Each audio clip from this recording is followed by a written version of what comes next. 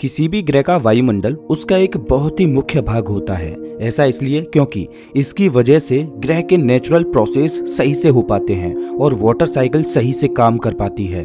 हमारे सौर मंडल में ऐसे बहुत सारे सेलेस्टियल ऑब्जेक्ट्स हैं जिनके पास या तो वायुमंडल है ही नहीं या फिर होने के बावजूद भी काफ़ी पतला है।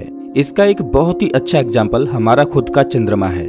लेकिन वायुमंडल ना होने की वजह से वैज्ञानिकों को उसके बारे में एक चीज़ पता लगाना काफ़ी ज़्यादा आसान हो जाती है, और वो है अंतरिक्ष की शुरुआत की सीमा ढूंढना।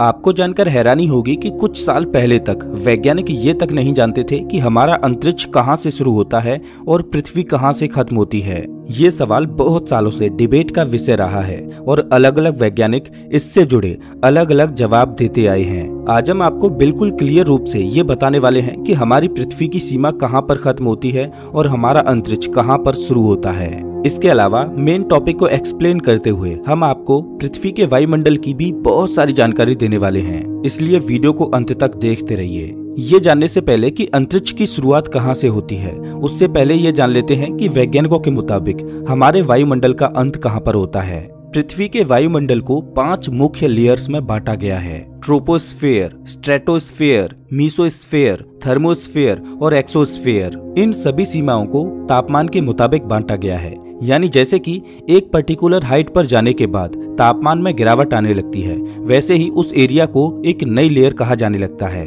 सिर्फ़ तापमान ही नहीं, बल्कि इन्हें केमिकल और फ़िज़िकल प्रॉपर्टीज़ के आधार पर भी डिवाइड किया गया है। अब सीधी सी बात है कि अगर एक लेयर से दूसरे लेयर में टेम्परेचर डिफरेंस आ रहा है तो उसके फ़िज़िकल और केमिकल कंपोजिशन में भी डिफरेंस ज़रूर दिखेगा। खैर, चलिए वायुमंडल के इन पाँच लेयर्स के बारे में थोड़ा गहराई में जानते हैं।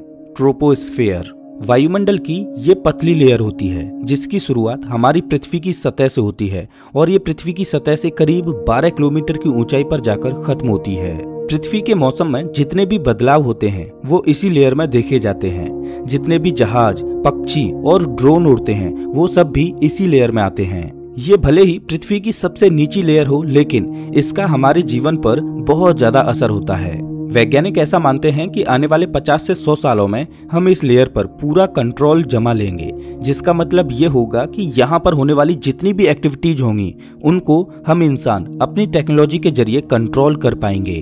अगर आपने ये सोचा कि इसके ज़रिए हम अपने मौसम को भी कंट्रोल कर पाएँगे तो आप बिल्कुल सही हो। इनफैक्ट इस लेयर को कंट्रोल करने का मुख्य कारण भी यही है कि हम एक स्पेसिफिक एरिया के मौसम को आसानी से कंट्रोल करें, ताकि वहाँ पर मौजूद फ़सल और बाकी इम्पोर्टेंट चीज़ों को कोई हानि ना हो। ऐसा कई बार किया जा चुका है, लेकिन कोई भी एक्सपेरिमेंट सफल नहीं हुआ।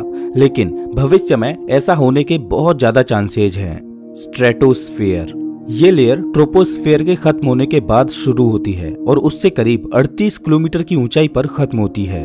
इसका मतलब ये हुआ कि इसके आखिरी छोर की ऊंचाई हमारी पृथ्वी की सतह से 50 किलोमीटर की दूरी पर होती है। वायुमंडल की इसी लेयर में ओजोन लेयर भी मौजूद होती है, जो हमें सूर्य से आने वाले हार्मफुल पार्टिकल से बचाती है। इस लेयर की फॉर्मेशन पृथ्वी के शुरुआती समय में हुई थी, जब यहाँ पर साइनोबैक्टीरिया भारी मात्रा में हुआ करते थे। खैर, इस लेयर में हमें वेदर बलून और हाई फ्लाइंग प्लेन्स नज़र आते हैं। एयरप्लेन को इतनी ऊंचाई पर तब उड़ाया जाता है जब उन्हें लॉन्ग डिस्टेंस ट्रेवल करनी होती है और फ्यूल बचाना होता है। अब शायद आपका ये सवाल हो सकता है कि प्लेन को ऊंचाई पर उड़ाने से फ्यूल बचाने का क्या कनेक्शन है। असल में जैसे जैसे हम वायुमंडल में ऊपर चलते जाते हैं वैसे वैसे पार्टिकल डेंसिटी कम होती जाती है। पार्टिकल डेंसिटी का मतलब होता है कि एक पर्टिकुलर एरिया में कितने ज़्यादा पार्टिकल्स मौजूद हैं। जैसे कि सॉलिड की पार्टिकल डेंसिटी लिक्विड के मुकाबले ज़्यादा होती है वैसे ही लिक्विड की पार्टिकल डेंसिटी गैस के मुकाबले ज़्यादा होती है। ऐसे ही ट्रोपोस्फेयर की पार्टिकल डेंसिटी स्ट्रेटोस्फेयर के मुकाबले ज़्यादा होती है, जिसकी वजह से एयरप्लेन्स को वहाँ पर बहुत सारा फ्यूल एयर रेजिस्टेंस को कैंसिल करने में इस्तेमाल करना पड़ता है। लेकिन जब इन्हें स्ट्रेटोस्फियर में उड़ाया जाता है तो वो फ्यूल बच जाता है और प्लेन को एयर रेजिस्टेंस का ज़्यादा सामना नहीं करना पड़ता। मीसोस्फियर ये हमारे वायुमंडल की तीसरी लेयर है, जिसकी शुरुआत होती है स्ट्रेटोस्फेयर के खत्म होने के बाद और अंत होता है पृथ्वी की सतह से पचासी किलोमीटर की ऊंचाई पर। यानी अगर हम बात करें इस लेयर की चौड़ाई की तो ये करीब 35 किलोमीटर मोटी होती है। इस लेयर में आते आते पार्टिकल डेंसिटी इतनी कम हो चुकी होती है कि यहाँ पर किसी भी एरोप्लेन को उड़ाना ऑलमोस्ट इम्पॉसिबल हो जाता है। अगर आप ध्यान दें तो आपको ये पता चलेगा कि जैसे जैसे हम वायुमंडल की लेयर्स में ऊपर जाते जा रहे हैं वैसे वैसे हमें अंतरिक्ष जैसे फीचर देखने को मिल रहे हैं। पार्टिकल डेंसिटी कम होना अंतरिक्ष की एक निशानी है, जो हमें मेसोस्फीयर में साफ़ साफ़ दिखाई दे रही है। आपने कई जगहों पर टूटते हुए तारों के बारे में सुना होगा, जो असल में एक तारा नहीं, बल्कि एक उल्का होता है, जो पृथ्वी के वायुमंडल में आकर जल जाता है। ये जलने का प्रोसेस कहीं और नहीं, बल्कि मेसोस्फीयर में ही होता है। कई लोग ये बताते हैं कि ये आग फ्रिक्शन की वजह से लगती है, लेकिन मैं आपको बता दूँ कि ये पूरी तरह से गलत है। दरअसल, जब भी कोई पत्थर का टुकड़ा पृथ्वी के वायुमंडल में प्रवेश करता है तो उसके आगे के हिस्से पर लगने वाला प्रेशर पीछे के हिस्से पर लगने वाले प्रेशर से बहुत ज़्यादा होता है, जिसकी वजह से उसका आगे का हिस्सा आग पकड़ लेता है। यही कारण है कि हमें वो पत्थर चमकता हुआ दिखाई देता है और इसे लोग टूटता हुआ तारा बुलाते हैं। थर्मोस्फेयर। मीसोस्फेयर के खत्म होने के बाद आती है हमारे वायुमंडल की चौथी लेयर, यानी थर्मोस्फेयर। इसकी शुरुआत होती है पृथ्वी की सतह से पिचासी किलोमीटर की ऊंचाई पर और अंत होता है पृथ्वी की सतह से 600 किलोमीटर की ऊंचाई पर। अभी तक हमने वायुमंडल की जितनी भी लेयर्स के बारे में आपको बताया, उनमें से ये सबसे ज़्यादा चौड़ी है। इसीलिए यहाँ पार्टिकल डेंसिटी बहुत ही ज़्यादा कम होती है और यहाँ पर सिर्फ़ चार्ज्ड पार्टिकल ही मौजूद होते हैं, जिन्हें कई बार आयंस के नाम से भी बुलाया जाता है। इंटरनेशनल स्पेस स्टेशन और पृथ्वी का चक्कर लगाने वाली सैटेलाइट्स इसी लेयर में मौजूद रहती हैं। अगर यहाँ पर पार्टिकल डेंसिटी ज़्यादा होती तो सैटेलाइट्स का फ़ंक्शन करना काफ़ी ज़्यादा कठिन हो जाता। अब क्योंकि इस एरिया में आईएसएस चक्कर लगा रहा है तो इसका मतलब ये हुआ कि ये अंतरिक्ष में होना चाहिए। वेल well, इसके बारे में हम आपको कुछ क्षणों में बताने वाले हैं इसलिए वीडियो में अंत तक बने रहिए। अंत में आती है पृथ्वी की सबसे मोटी लेयर जहाँ पर पार्टिकल डेंसिटी ऑलमोस्ट ना के बराबर होती है। हम बात कर रहे हैं पृथ्वी की आखिरी लेयर एक्सोस्फीयर की। इसकी शुरुआत तो पृथ्वी की सतह से 600 किलोमीटर की ऊंचाई पर होती है लेकिन अंत 10,000 किलोमीटर की ऊंचाई पर होता है। वैज्ञानिकों के मुताबिक यही वो एरिया है जहाँ पर हमारी पृथ्वी का वायुमंडल और अंतरिक्ष आपस में आकर जुड़ जाते हैं। लेकिन फिर भी हम ये नहीं कह सकते कि इसी लेयर से अंतरिक्ष की शुरुआत होती है। यहाँ पर काफ़ी सारा स्पेस डेब्रीज मौजूद है और साथ ही में यहाँ पर आपको बहुत ही कम गैस मॉलिक्यूल देखने को मिलेंगे। इस लेयर को आप टेक्निकली स्पेस ही बोल सकते हो। अब ये तो बात हुई वायुमंडल की, जिसे डिवाइड करना काफ़ी आसान था, क्योंकि इसे एक फ़िज़िकल क्वांटिटी के मुताबिक बांटा गया था, जो था टेम्परेचर लेकिन अंतरिक्ष और पृथ्वी की बाउंड्री को बांटना इतना ज़्यादा आसान नहीं था, क्योंकि उसके लिए किसी बेस मैट्रिक को चूज़ करना काफ़ी ज़्यादा कठिन था। बेस मैट्रिक चूज़ करने का मतलब है ये पता लगाना कि हम अंतरिक्ष और पृथ्वी को किस आधार पर बांटे इस बात पर बहुत सालों से डिबेट की जा रही थी। लेकिन साल उन्नीस सौ सत्तावन में थियोडोर कार्मन नाम के एक Hungarian, American physicist and space flight engineer इसका एक बहुत ही अच्छा एक्सप्लेनेशन देते हैं। उनके मुताबिक, पृथ्वी का अंत और अंतरिक्ष की शुरुआत पृथ्वी की सतह से 100 किलोमीटर की ऊंचाई पर होती है, और ऐसा कहने का उनके पास काफ़ी सारे कारण थे, जिनमें से मुख्य कारण था एरोडायनामिक लिफ्ट। उनके मुताबिक, अंतरिक्ष और पृथ्वी को एक ऐसी रेखा से डिवाइड करना चाहिए, जहाँ पर पार्टिकल डेंसिटी इतनी ज़्यादा कम हो जाए कि कोई भी ऑब्जेक्ट मात्र पार्टिकल्स के ज़रिए उड़ान न भर पाए। ये स्टेटमेंट काफ़ी ज़्यादा सिंपल है, लेकिन शायद आपको इसमें थोड़ी कंफ्यूजन हो, इसीलिए चलिए इसे थोड़ा अच्छे से समझते हैं। हम जानते हैं कि जितनी भी चीज़ें पृथ्वी पर उड़ती हैं फिर चाहे वो आपका स्कूल में बनाया हुआ पेपर प्लेन हो या फिर एयर इंडिया द्वारा बनाया गया विशाल प्लेन, उनका एक बेसिक मैकेनिज्म एरोडायनामिक लिफ्ट होता है। इसका मतलब ये हुआ कि इन दोनों ही ऑब्जेक्ट्स को इस तरह से डिज़ाइन किया जाता है कि वो वायुमंडल में मौजूद पार्टिकल्स का पूरा लाभ उठाएँ और इससे अपने वेट को बैलेंस करते हुए हवा में उड़ पाएँ। यही कारण है कि हमें एरोप्लेन्स में विंग दिखाई देते हैं और साथ ही में इसकी बॉडी बिल्कुल रॉकेट की शेप में बनाई जाती है। ऐसे प्लेन को हवा का इस्तेमाल करने में आसानी होती है, जिससे वो आसानी से उड़ पाता है। अब ये तो केस हुआ हमारे वायुमंडल का। लेकिन जैसा कि मैंने आपको पहले ही बताया कि पृथ्वी की सतह से ऊपर जाने पर पार्टिकल डेंसिटी कम होने लगती है, जिसकी वजह से ये एरोडायनामिक लिफ्ट अचीव करना और भी ज़्यादा कठिन हो जाता है। थियोडोर कर्मन के मुताबिक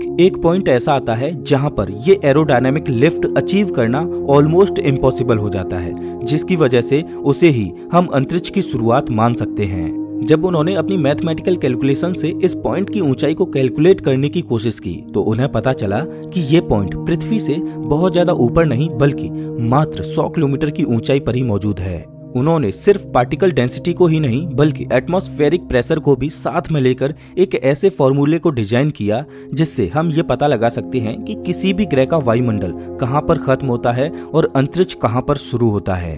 उनके मुताबिक इस 100 किलोमीटर वाले पॉइंट पर एटमॉस्फेरिक प्रेशर सी लेवल पर मौजूद एटमॉस्फेरिक प्रेशर के मुकाबले दस हज़ार गुना कम होता है।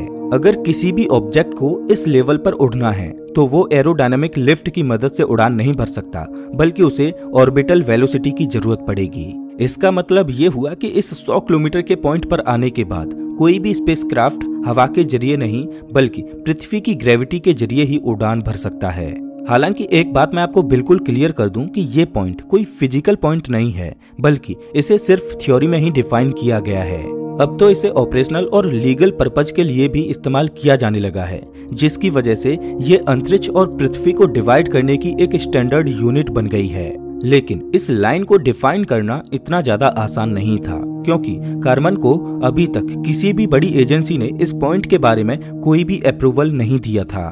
यही कारण है कि हमें कार्बन के अपनी थ्योरी पब्लिश करने के मात्र दो साल बाद फिर से एक डिबेट दिखाई देती है, जिसमें अमेरिकन एयरफोर्स अपनी एक नई डेफिनेशन को सामने लेकर आती है।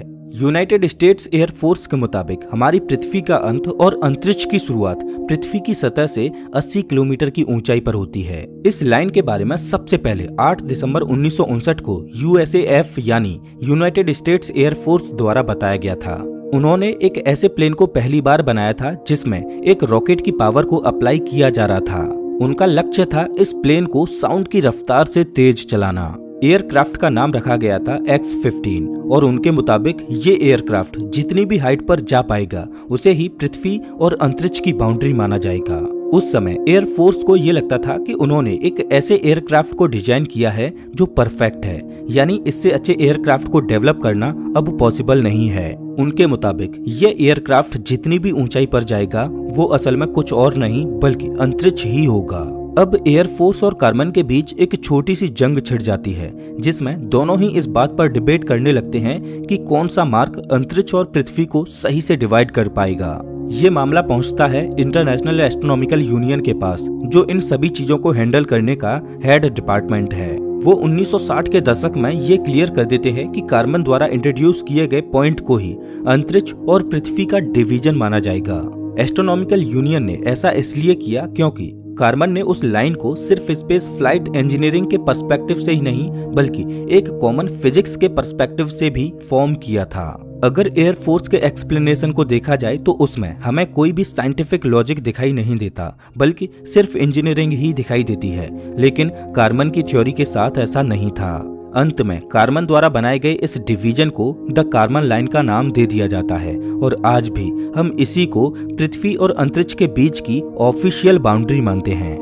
हालाँकि मैं आपको बता दूँ कि नासा कभी कभी 80 किलोमीटर वाले मार्क को अंतरिक्ष और पृथ्वी की बाउंड्री के रूप में यूज़ कर लेता है, लेकिन इसका मतलब ये बिल्कुल भी नहीं है कि वो एक ऑफिशियल बाउंड्री है। नासा ऐसा सिर्फ़ अपने मिशन को सही से परफॉर्म करने के लिए करता है और उनका कार्मल लाइन को अपोज करने का कोई भी मोटिव नहीं है। तो अब आपको पता चल चुका होगा कि आखिर हमारी पृथ्वी का अंत और अंतरिक्ष की शुरुआत कहाँ से होती है। ये बाउंड्री हमारी पृथ्वी की सतह से 100 किलोमीटर की ऊंचाई पर होती है। जैसा कि मैंने आपको शुरुआत में बताया था कि इस ऊंचाई पर हमारे वायुमंडल की चौथी लेयर मौजूद होती है। जहाँ पर पार्टिकल डेंसिटी इतनी ज़्यादा कम हो चुकी होती है कि किसी भी ऑब्जेक्ट को फ्लाई करने के लिए ऑर्बिटल वेलोसिटी की ज़रूरत पड़ती है। कार्बन लाइन के कॉन्सेप्ट को डेवलप करने के लिए मेसोस्फेयर और थर्मोस्फेयर की काफ़ी ज़्यादा ज़रूरत पड़ी थी, क्योंकि इसके ज़रिए ही कार्बन ये पता लगा पाए थे कि पृथ्वी के किस एरिया में ऑब्जेक्ट्स को एरोडायनामिक लिफ्ट मिलना बंद हो जाता है। खैर, अगर आपको पृथ्वी और अंतरिक्ष के बीच की बाउंड्री को डिवाइड करना होता तो आप कितनी हाइट की बाउंड्री को सेलेक्ट करते और क्यों? हमें कमेंट करके ज़रूर बताएँ। अगर आपको ये वीडियो अच्छा लगा हो तो इसे लाइक ज़रूर करें और ऐसे ही वीडियोज़ के लिए चैनल को सब्सक्राइब करें। साथ ही बेलाइकॉन दबाएँ।